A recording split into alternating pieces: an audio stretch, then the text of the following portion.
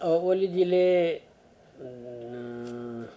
विभिन्न टार्गेट साइटको भ्रमण गरिराख्नु भएको छ क्यारे?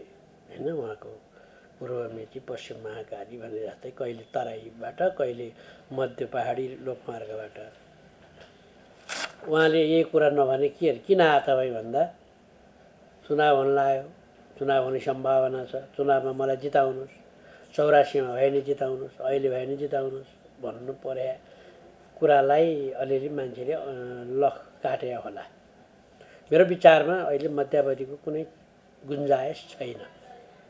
मध्यावधि निर्वाचन हुनको निम्ति अहिलेको सदन फेल हुनुपर्छ। अहिलेको सदनले सरकार बनाउन नसक्ने परिस्थितिमा पुग्नुपर्छ। त्यो हुने सम्भावना किन छैन भने कङ्ग्रेस ठुलो दल सहित माओवादी केन्द्र सरकारमा छ। अरू दलहरूले समर्थन गरिराख्नु भएको छ। त्यस कारण यसको गठबन्धन अहिले मजबुत छ। मजबुत गठबन्धन हुँदाहुँदै संसदले सरकारै बनाउन नसक्ने भयो भनेर हल्ला गर्नु यो व्यवस्थाको विरोधीहरूले गर्ने हल्ला हो।